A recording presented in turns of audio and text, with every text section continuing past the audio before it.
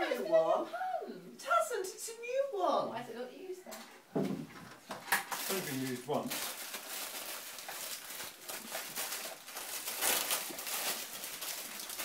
What's wrong, Emma?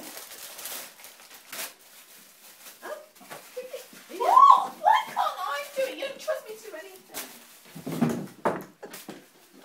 That's why. Right, would you like me to scrub it? No. What have you got on your feet, Emma? What have I got on my feet?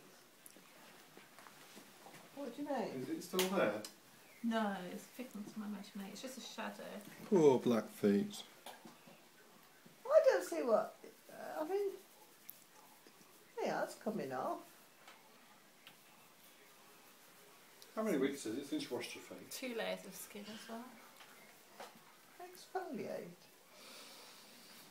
You'd pay a lot of money that, to, to do that in some places.